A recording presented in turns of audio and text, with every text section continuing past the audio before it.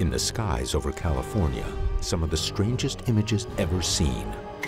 This actually was taken in Bakersfield, California. Craft that seemingly defy the rules of physics. Like some of the world's most advanced technology, there are allegations that these designs may have come from beyond the stars. Is it possible that world governments have been secretly reverse engineering crashed UFOs, creating technological marvels that seem to appear out of nowhere? I shouldn't be talking about it. Does the SR-71 Blackbird spy plane owe its revolutionary design to the UFO sightings reported by its creator? Is it just coincidence? The B-2 stealth bomber and the F-117 fighter jet resemble the craft described in the first modern UFO sighting. There was an object in the sky. He actually saw what was almost like a stealth fighter.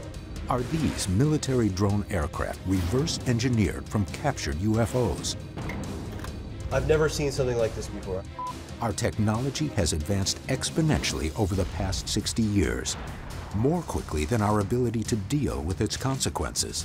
We're playing with time travel. We're playing with telekinesis. But is some of our most advanced technology not our own? This is case number 47204, reverse engineering.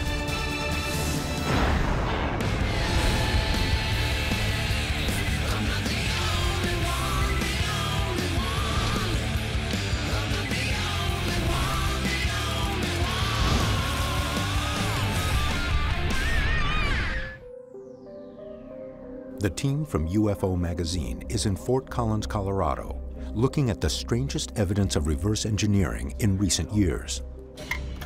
This actually was taken allegedly in Bakersfield, California, showing a very obviously clear craft. It looks very sophisticated. The photo was posted anonymously on an internet public forum. The craft is hoop-shaped, with spires on top that presumably provide some sort of lift or propulsion. James Carrion is the international director of MUFON, the Mutual UFO Network, founded in 1969 to scientifically and objectively investigate UFOs.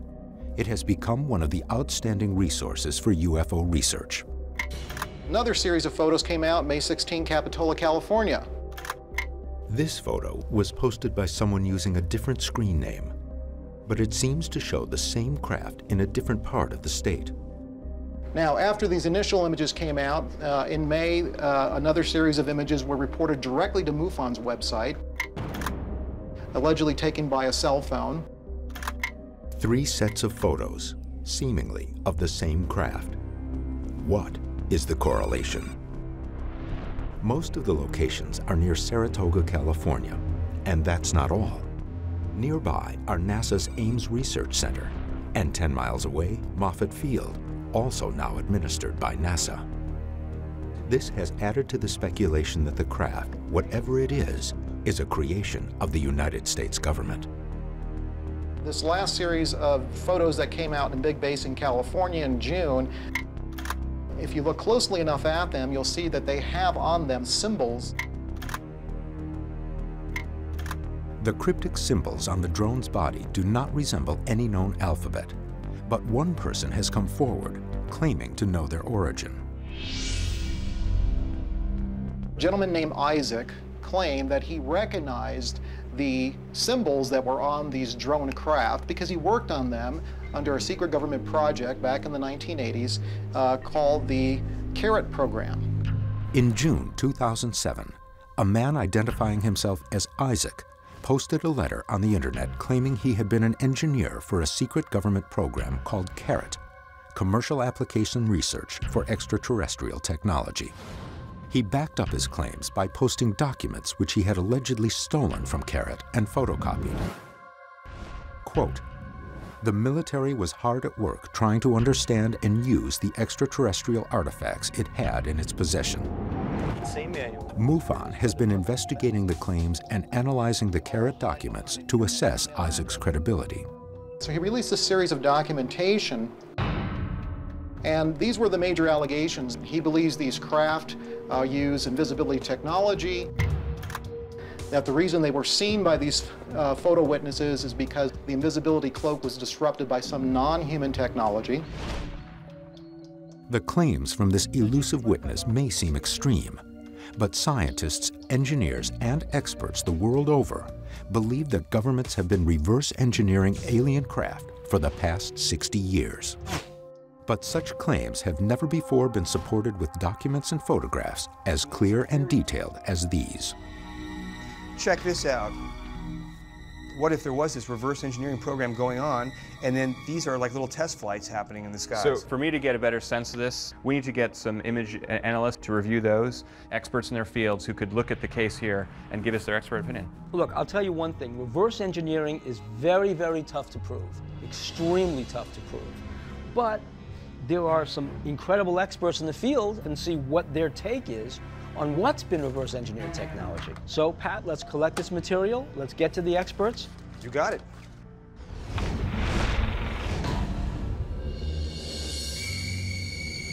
The team travels to Littleton, Colorado to meet an engineer who claims to have first-hand knowledge that government reverse engineering programs are real. I never talked about that for years because I felt that it was a classified thing and I, I shouldn't be talking about it. John Schuessler worked for NASA during the Gemini and Apollo programs from 1962 until his retirement in 1998. His introduction into UFO phenomenon began with NASA's Gemini missions. On the first Gemini flight, it was the Gemini Titan II. It was an unmanned mission. January 19, 1965. The Gemini Titan II rocket launches into space at 2.03 p.m. Minutes later, as the rocket makes its suborbital flight, Schuessler notices something anomalous. When that came around the Earth the first time, it was reported there were two objects with it. They were spotted by radar, and on the second time around, they were gone. This mysterious event was the beginning of a wave of sightings UFO experts believe were witnessed by astronauts. June 4, 1965. The Gemini 4 capsule orbits above Hawaii. Astronaut James McDivitt mans the controls while his partner Ed White sleeps. Suddenly, an object appears outside the window. McDivitt describes it as a cylindrical object with a long arm jutting out from one side. He takes two photographs. Then, fearing the capsule might hit the object, he turns on the rocket engines and moves the spacecraft to a safer location. When he looks out the window again, the object is gone. He was very candid about saying that he did see something and it wasn't ours. It was a guy who was a general in the Air Force. Uh, he was a well-known fighter pilot and dead serious when he said something's going on. NORAD's official explanation was that the object was the discarded second stage of the Titan II rocket. But while McDivitt insisted that it wasn't what he saw, he never filed a UFO report and declined to speak publicly on his sighting. Schuessler began compiling documents detailing NASA's UFO encounters, describing what the craft looked like and how they flew. His investigations didn't go unnoticed. I, I shouldn't be talking about it. In fact, I was called in and asked for some documents, UFO documents, by an advanced design group designing a, a stealth fighter. And I turned over to them a bunch of my files so they could look and see if there was a, a reverse engineering stealth technology. But before long, that group was working stealth technology. Stealth is one of many astounding technologies developed over the past 60 years. Since the 1940s, technology has progressed at a seemingly exponential rate. Transistors and microcircuitry have revolutionized electronics. Advances in aviation materials allow our planes to fly faster than was previously believed possible. But did we do it alone? A landmark event coincides with the beginning of the technological revolution. Was the timing coincidental, or is there a connection? July 7, 1947. A flying disc is alleged to have crashed at Roswell, New Mexico. Witnesses have testified that the object was immediately taken away by the U.S. Army. You believe that there must have been a crash somewhere along the line, or somehow we acquired an, one of these vehicles? Technology items suddenly burst onto the scene in two or three locations at once. Like they've all been fed some seed, you know, to make it grow, and they all come to similar conclusions. What pieces of technology? Fiber optics were reported in the early crashes. They didn't call them fiber optics, but uh, they looked like glass wires or something. Invisibility. We had lots of reports that UFOs were flying along, being chased, and suddenly they're gone. They check with the ground, they get ground track radar on it, they have aircraft visual and aircraft radar you could not see. Many technological advances being unveiled today were described years ago by UFO witnesses. Just recently, it was said that they can make a, a tank look invisible by projecting uh, the image behind it in front of it, you know, and you can't even see a tank sitting on the ground. British defense researchers recently made a tank invisible by projecting the background image onto a special foreground surface. UFO witnesses have long reported craft apparently disappearing in front of their eyes. You were there. What was the scuttlebutt in that community? Were people talking? The guys talk about things of very unusual nature to each other, but they don't talk to people outside of that community. The special access community is a very closed community, and you will lie, cheat, or steal to protect it. And uh, it's necessary to be that way. Would you uh, have heard any rumors? Uh, who's got what? I would not say that on camera. I asked him straight up, you know, okay, well, you know people, you, you know, who've you talked to? Who's got the stuff? Who's got the goods? Where's the, where's this craft being being kept? Yeah, you, don't want, you don't want me shot, do you? and he basically said, no, I can't tell you that. Schuessler is certain that reverse engineering of downed UFOs is being done secretly. There's just way too many advancements coming out, and people don't really know what's going on behind the scenes. Advanced technologies have long and complicated histories, making it difficult to trace their development.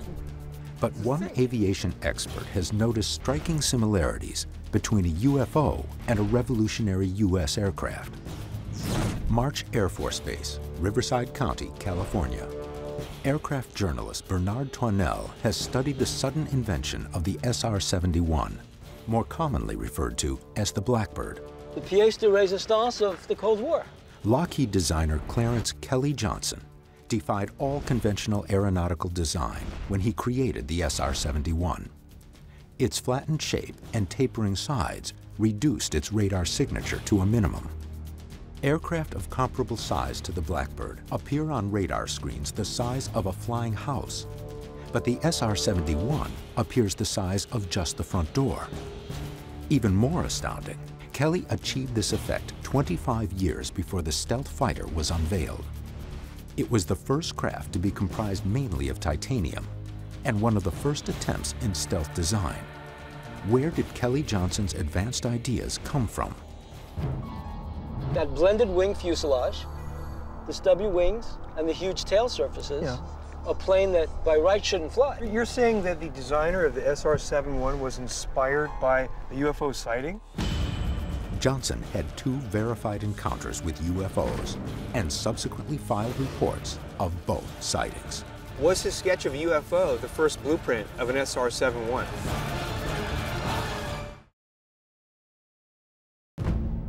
In December 1964, the SR-71 was unveiled. Its Mach 3 cruising speed, titanium airframe, and revolutionary stealth technology astounded aviation experts.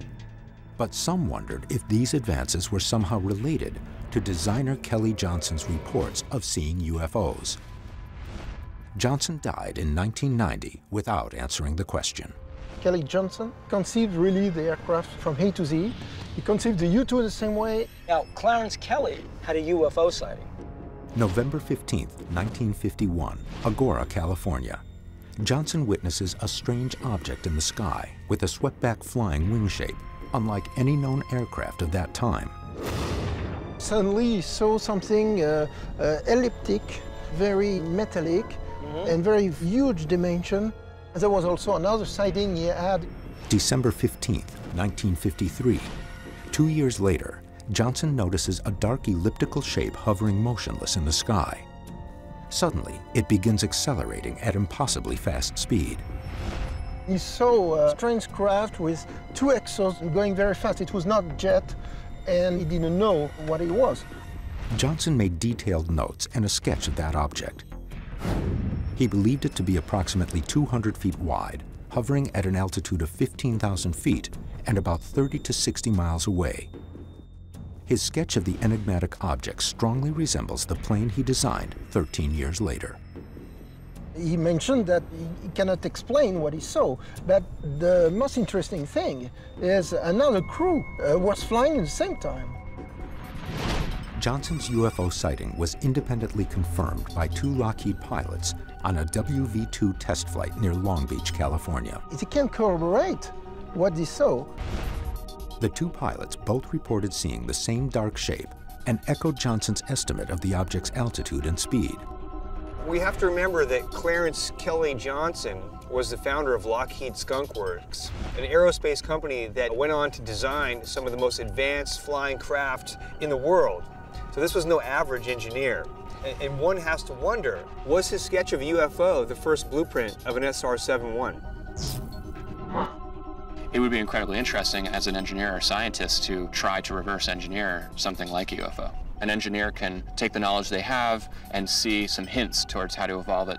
Whatever the source of his inspiration, Kelly Johnson's SR-71 was the first of an ongoing stream of ever more sophisticated stealth designs.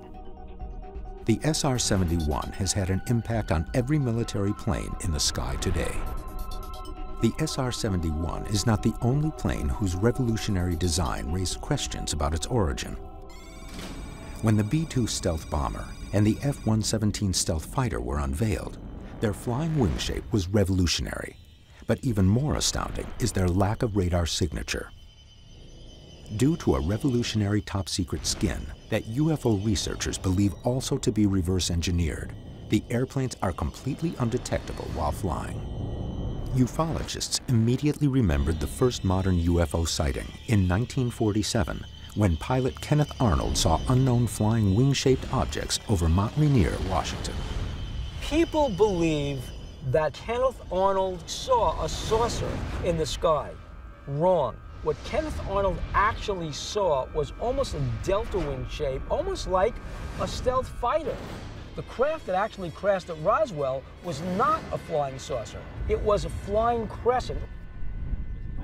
Today's flying wing designs are almost direct descendants of the modified blended flying wing that crashed at Roswell. A flying wing aircraft blends the fuselage into the wings, creating a wedge-shaped plane. Although a flying wing has superior lift and fuel efficiency, historically it's proved hard to maneuver.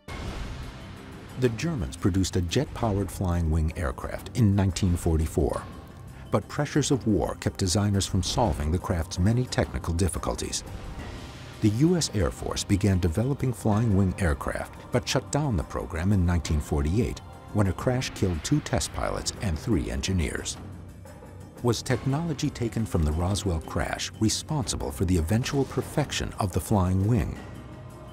If these UFOs existed and they were just thousands of years more advanced than what we are familiar with today, I'm not sure that we would be able to understand it. Reverse engineering entails copying everything from an existing machine, from complicated electronics down to the chemical composition of basic materials. It's no easy task even when the technology being copied is from right here on Earth. The B-29 bomber is probably the best example of reverse engineering. Through the Cold War, World War II, World War I, the military has been doing reverse engineering uh, of foreign aircraft. Famous cases of, of the U.S. getting their hands on Russian aircraft and reverse engineering the functionality or some of the advanced performance characteristics of the Russian aircraft. And it goes both ways. The Russians are doing the same thing to us. It's undisputed that countries routinely reverse engineer technologies from other countries. Could they be applying the same techniques to objects not of this world? Stalin gave the order, if we can get uh, B-29, try to rebuild it. July 31st, 1944. A B-29 bomber experiences engine problems and is forced to land near Vladivostok, USSR. Later, two other B-29s also make emergency landings in Russia. Another crashes in Siberia. All four craft are kept by the Soviets. Their reverse engineering effort creates the Tupolev Tu-4. The Russians were ordered to rebuild the B-29 bolt per bolt, uh, 105,000 pieces. Ironically, highly complex machinery is not always the biggest challenge. The Russians were not able to reproduce everything. Look at the Russians with the B-29 having difficulty just to make a small step forward. Now imagine getting a UFO that might be so incredibly sophisticated, so incredibly advanced. It could be from a civilization thousands of years engineering-wise ahead of us. Maybe we could reproduce the geometries of those components in that UFO, but for us to understand the fundamental physics, that's a huge stretch. The claim that the U.S. government is actively engaged in reverse engineering alien craft has always been highly controversial. But recently, new material has been released purporting to be photographic and documentary evidence of recovered alien technology. Proof at last, or something else?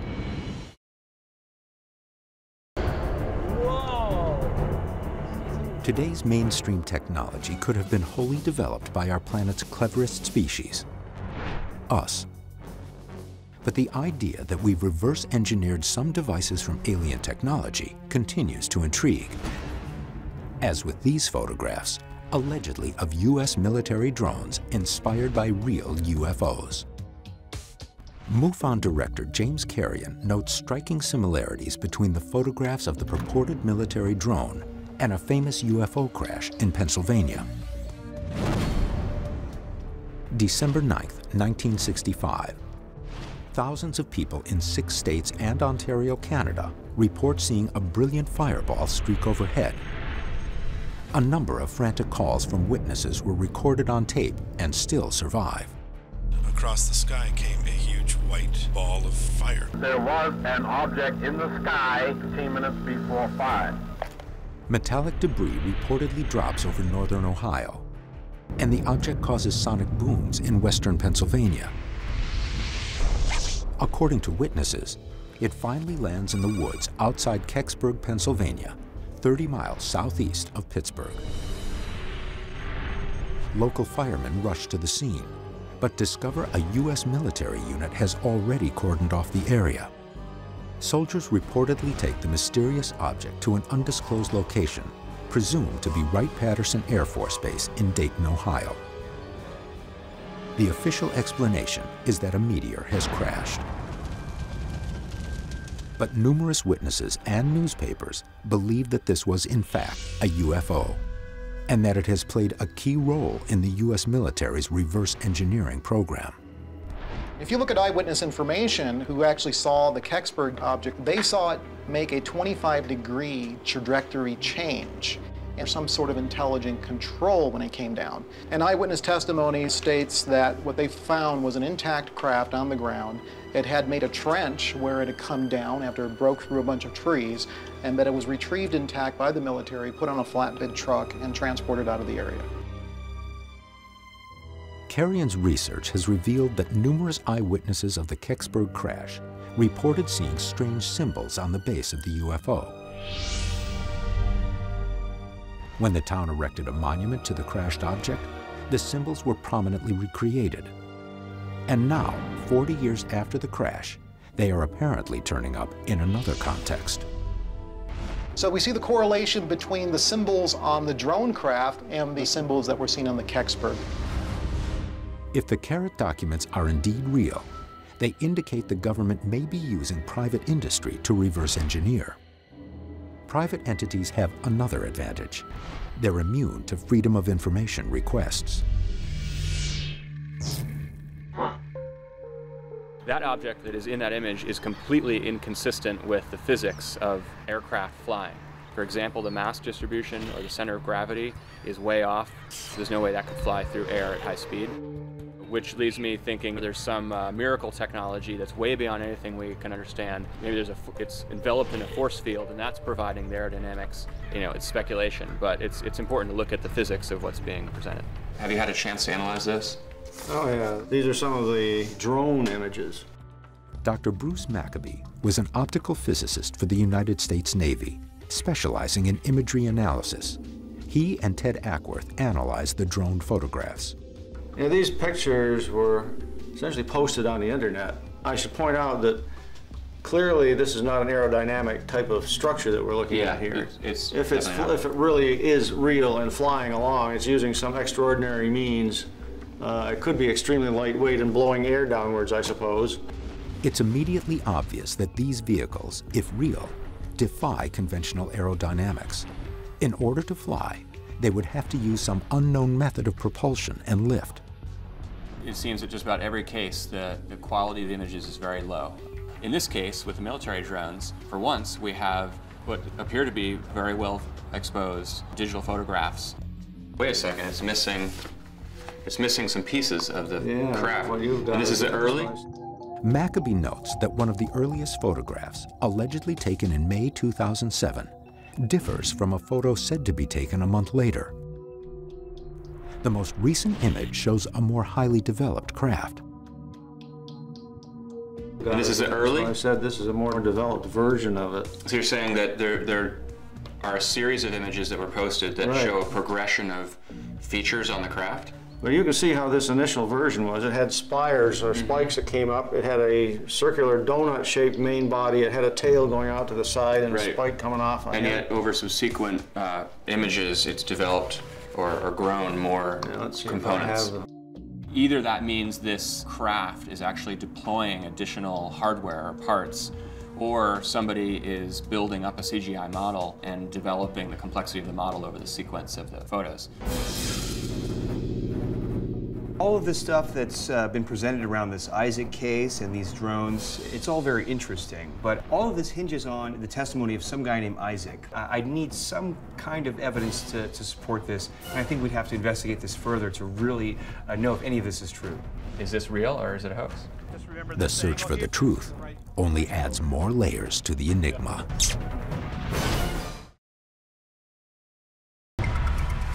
These photographs, reportedly shot over California in 2007, show craft possibly reverse engineered by our government from captured alien technology. Although the CARET documents allege that reverse engineering is being subcontracted out to private facilities, most UFO researchers believe that if it's taking place, it's being done at high security military bases. Coming up with a lot of documents here uh, about underground bases and, and their connection to reverse engineering. The file includes a declassified, formerly top secret 1952 briefing prepared for incoming President Dwight Eisenhower. This says top secret, eyes only. It's prepared for President elect Eisenhower, and it goes on to say that the Roswell crash was real and the wreckage of the craft was removed to several different locations, one of them possibly Area 51. Two names have become synonymous with reverse engineering Dulce Mesa, New Mexico, and Area 51. A number of scientists and engineers who worked at Area 51 reported suspicious activity at the site. Robert Lazar supposedly was one of the people who was asked by the Air Force to go to Area 51 and give his advice on how to reverse engineer the propulsion systems of all the craft that were kept at Area 51. Bob Lazar surfaced in the early 1990s, claiming to have been an engineer who worked at Area 51, supposedly reverse engineering captured UFOs. Here's a story about a guy named Bill Uhouse, who uh, is a retired mechanical engineer from Vegas, who claims he worked with an EBE, an extraterrestrial biological, biological entity. entity, right. Another purported base involved with reverse engineering is located underneath the town of Dulce, New Mexico. Dulce is a very secret military base that is underground. According to the United States Army's own mining engineers, this is the most heavily tunneled area in the entire world. That ever since the late 1940s, we've dug tunnels in all these states. Dulce is one of those tunnels. I know that there are bases that are tunneled deep into the ground for their protection so that they can survive, let's say, a, a nuclear attack. But are there these secret underground bases where reverse engineering vehicles? That I can't say for sure.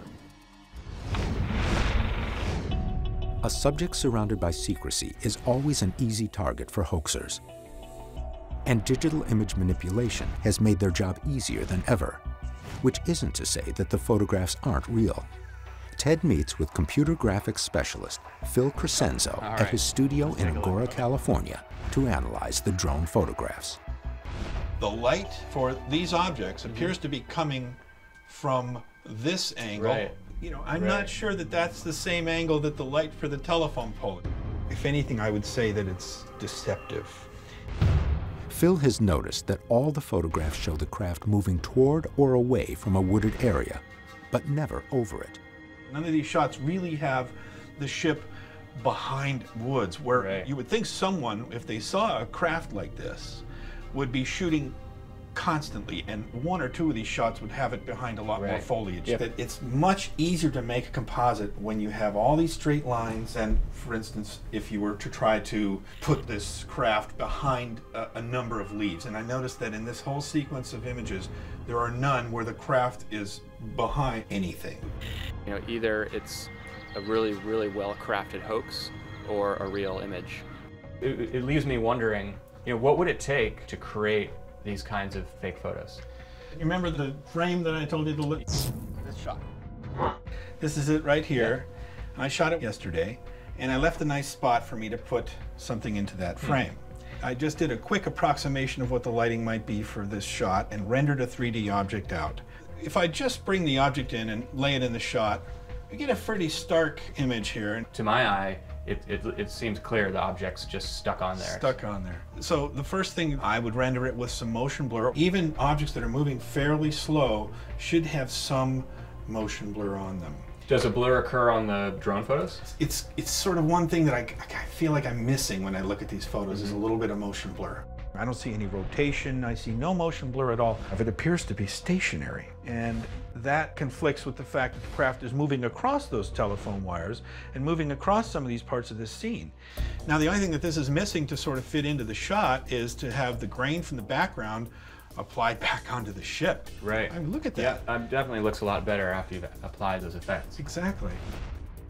Uh, it's impressive. I mean, you, you know, you've got it, to my eye, looking like maybe 99% believable that there's a UFO flying in, in your front yard. But you can see how someone with even more time would probably be able to create a very convincing image. After all of this analysis, you know, what is it? Is, is this real or is it a hoax? I would tend to go with this being a computer generated image. At the end of the day, we weren't able to prove that these were fakes or, or hoaxed. On the other side, we weren't able to prove that they were real. I'm not sure it's possible to do that. And bottom line, you know, I, I'm just not going to believe that we're seeing a real UFO solely based on a set of images. If the CARET photos and documents are fakes, they are extremely good ones. Somebody has spent hours creating and detailing these documents. Why? Why are all the photo witnesses anonymous? Nobody's come forward. We have no identifiable person who says, I've taken these photos. So this whole thing smells like a hoax? Read in between the lines here. And at the top of my list is disinformation. Okay. Are they trying to hide real alien technology? Are they trying to hide that we've been visited by extraterrestrials? Or are they just simply trying to hide a super secret weapon? But for me, the bottom line is there is a secret here that's being protected, it's being cloaked, and that's what MUFON's here to find out what that secret is. It's a matter of record that revolutionary forms of aircraft have been attempted in the years after World War II. Rather than reverse engineer alien technology, most companies all the way back in the 1950s simply created their own technology from scratch. In 1953, Avro Canada demonstrated Project Y2. Yes, a genuine flying saucer. The Avrocar was an 18-foot saucer that used a turbo rotor for upward propulsion. But even after spending millions of dollars in research and development, the craft could hover only up to 8 feet at a maximum speed of 20 knots. Other disc-shaped craft all proved unstable, unflyable, and dangerous. But one man claims to have helped build a successful flying disc, not for any government, but for a private organization in Oklahoma. I had an experience on board this 45-foot craft.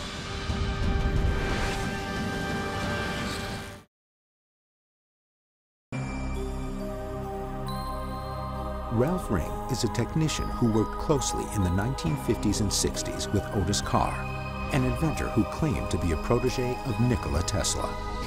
Carr believed he could build a working flying disc. And Ralph Ring asserts they succeeded. Ralph, how did you meet Otis T. Carr? A friend of mine introduced me to a group called Understanding that was studying stuff like science.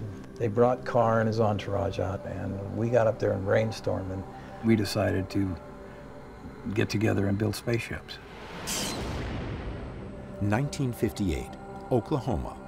Otis Carr starts construction of the OTC X-1, a 45-foot flying saucer. He describes his invention on Long John Nebel's New York radio show in 1959.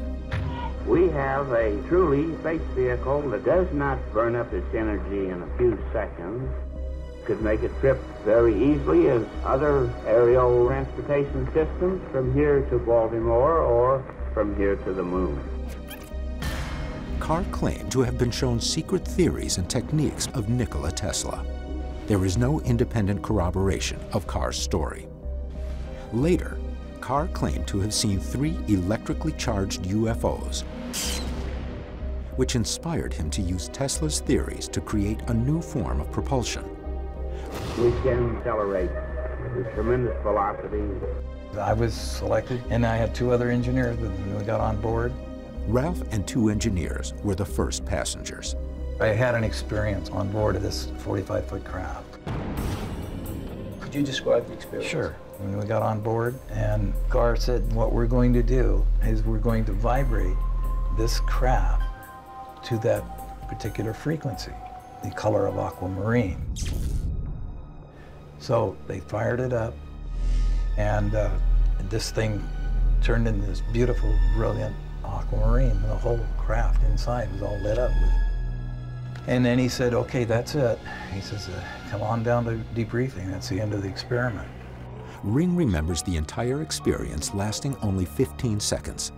But that short period of time encompassed something much more phenomenal.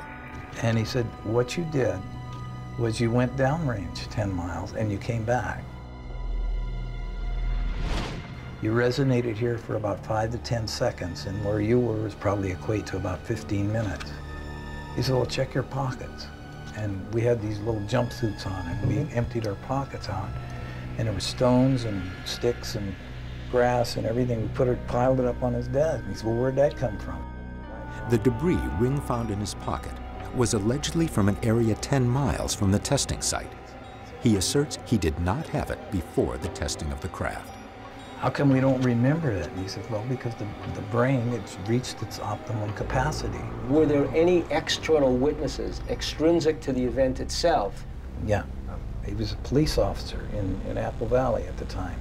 And him and his buddy saw this craft. I looked up on my email, and the guy says, did you have uh, jumpsuits on? And, and yeah. And he says, well, I think we saw you guys. I mean, you just were there for a few minutes and you left. They had no idea what was going on. They felt a vibration. Two, there was a bright blue light. Three, they wound up 10 miles away with no sense of movement or any memory of flying there. What does that sound like? It sounds very much like an alien abduction. Otis Carr was using the same techniques that alien abductors use. Could we talk a little bit about you know, what the fundamental principle was or is that makes us? Well, the simple explanation I can give you is you reach a resonant frequency of anything and you, you then become, you synergize with it. You become kind of one with it. Because Ring is not a scientist, he has a limited understanding of Carr's theories, other than that Carr believed objects could be moved through space and time by creating a resonant frequency with a predetermined location. Resonance is the specific pitch that triggers an exaggerated oscillation in an object. Every object has its own specific resonant frequency. For example, a tuning fork in the key of C has little effect on a tuning fork in the key of D. But if both tuning forks are in the same key, striking one will cause the other to vibrate in sympathy. Another example is a crystal goblet which can be made to resonate so violently at a certain note that it will actually shatter. We have to remember that sometimes out-of-the-box thinking is very difficult to accept, and there were many great thinkers in the past whose ideas we could not accept. People actually laughed at Einstein when he came up with relativity. When the father of American rocketry, Louis Goddard, proposed the idea that we would one day be in orbit and in space, people thought this would never happen. We would never go into space. So I would be reluctant to dismiss Ralph Ring's claims that there are different energies out there that we have yet to tap into. Carr's theories are so removed from accepted laws of physics that they seem like science fiction. But when experiments producer John Tyndall applied resonant frequency to an object in his laboratory, he was amazed to discover that at least part of what Carr claimed may be valid. What's, what is I don't know what kind of resonant frequency Otis Carr was using, but I've set up a basically an acoustic levitation chamber that, that's going to use resonant frequencies to levitate this uh, little flying saucer.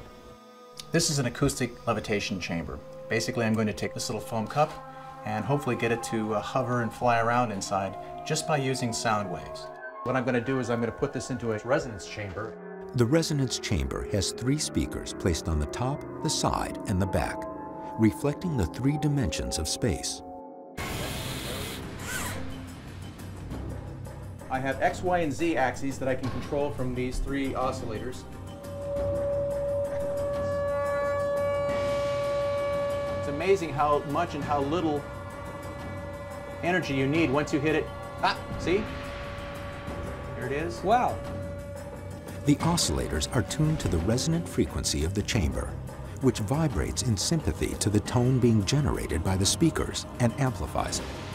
The intense vibrations set up a standing wave inside the chamber. The cup is actually riding the crest of the standing wave, not unlike a surfer rides the crest of an ocean wave. There you have it. Incredible. wow. Can you turn it upside down again? Well, we'll try. There you go. wow, nice. John Tyndall has demonstrated that sound waves can move or levitate an object, which Carr claimed was how he intended to propel his saucer. When you do hit the resonant frequency, all heck breaks loose. All bets are off. How exactly would this relate to the Otis T. Carr experiments and, and UFO Well- technology? So if he has stumbled upon some sort of ether resonant frequency that we haven't stumbled upon, then there could be some strange things come out of that. I think it's a big stretch. It doesn't fit any of the existing scientific models that we have, but this idea of finding a resonant frequency to capture, collect energy is an interesting idea. Theory like this, using sound waves to move an object, might have seemed preposterous 25 years ago, but uh, imagine what we might have in another 25 years.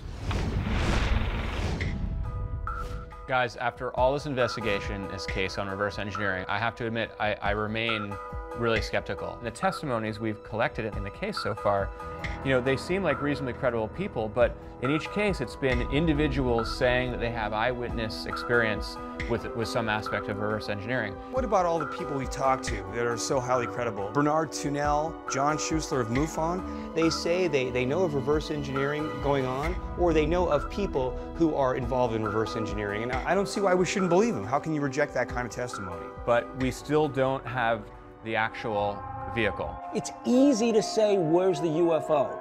That's our job is to hunt for it. Can we find it?